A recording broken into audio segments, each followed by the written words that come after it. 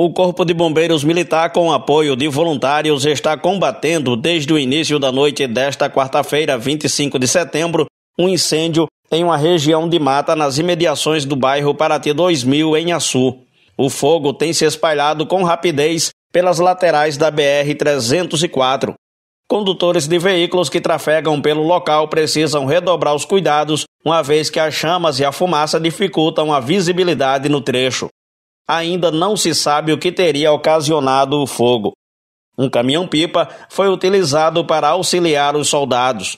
O Corpo de Bombeiros reforça o alerta à população para que evite práticas que possam resultar em incêndios, principalmente nessa época do ano em que o clima quente, aliado a outros fatores, tende a originar queimadas, trazendo efeitos devastadores www.açutododia.com.br Você por dentro da notícia.